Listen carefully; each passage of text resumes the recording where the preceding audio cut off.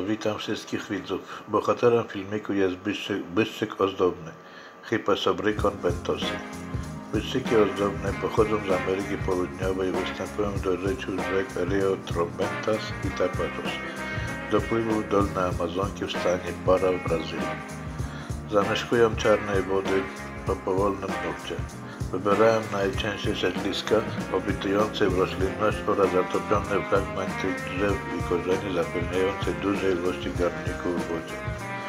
Pierwszy ga- gatunek opisał Darwin w 1908 roku i został na, nazwany na część pułkownika Ventosiego, który był wolontariuszem w wyprawie Tejera.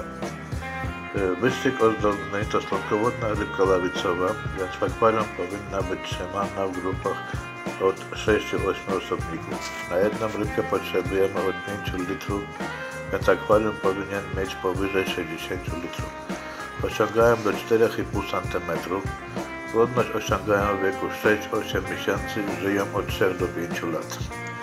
Wyszyki ozdobne mają wysokie, boczne, spłaszczone ciało z wysoką płetwą grzbietową i odbytową. Kolor ciała jest przeważnie różowy, czasami przybiera bogaty odcień, a to zależy od warunków trzymania. Płetwa ogonowa czerwonawa. Płetwa grzbietowa ciemna, z, ciemną smugą i czarną pla, plamką z białą końcówką. Samce są smuglejsze, większe i intensywnie ubarwione. U samców promienie płetw grzbietowe odbytowe wydłużone, a u samiczek zaokrąglone. Preferują akwaria z gęstą roślinnością, ale jednocześnie potrzebują wolne miejsce pływania. Optymalne parametry wody.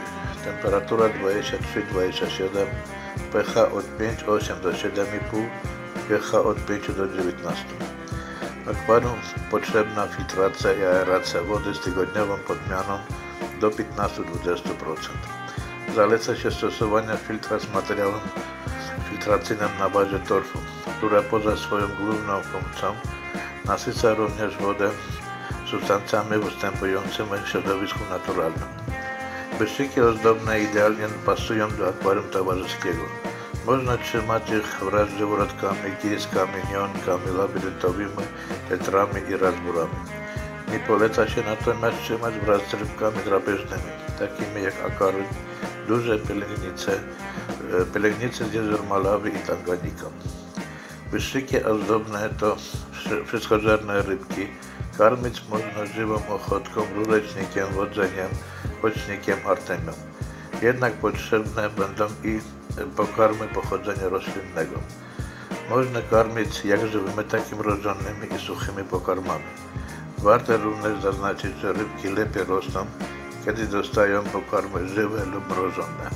Rozmnażanie. Zbiornik tarliskowy powinien mieć około 25 litrów. Na dno trzeba umieścić siatkę, żeby rodzice nie mieli dostępu do ikry. Oświetlenie powinno być słabe. Temperaturę trzeba podnieść o 2-3 stopnie, na przykład z 25 na 27 stopni. Woda po- powinna być miękka i kwaśna, pH 6,5, a GH od 2 do 4. E, Wodę przygotujemy w proporcjach 3 do 1. Trzy razy po filtrze obrócone osmozy do jednego zakładu. Dodajemy napar szyszek olchowych tak, żeby woda stała koloru jasnej herbaty. Tak przygotowaną wodę trzymamy bez rybek 2-3 dni. Niezbędna aeracja wody. E, Przed planowanym tarlem rodziców rozdzielamy i trzymamy osobno około dwóch tygodni. Karmimy żywymi i mrożonymi pokarmami.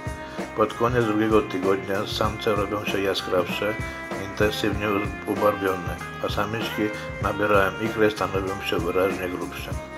Lepszy efekt uzyskamy przy stadnym rozmnażaniu w proporcji 1 samiec na 2 samiczki. Rodzice wyciorem przynosimy do akwarium tarliskowego.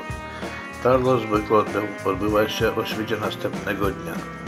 Po tarle przynosimy, rodziców przenosimy do innego zbiornika, a, wodę, a do wody dodajemy błękit metylowy tak, żeby woda miała jasno niebieski odcień.